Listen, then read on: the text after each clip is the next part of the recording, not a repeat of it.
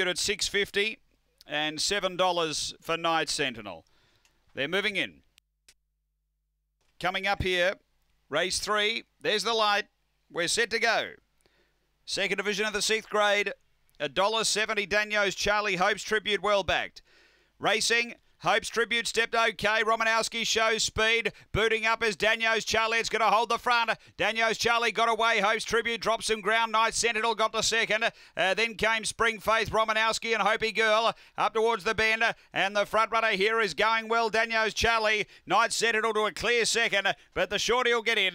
Daniels Charlie beats Night Sentinel. Uh, third is Hope's Tribute. Uh, then came Spring Faith, Romanowski, and Hopi Girl uh, back at the tail end. The time around 22 and 20.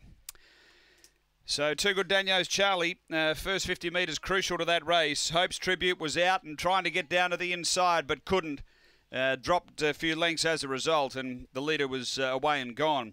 Number eight, second, Night Sentinel, and third going to seven, which is uh, Hope's Tribute.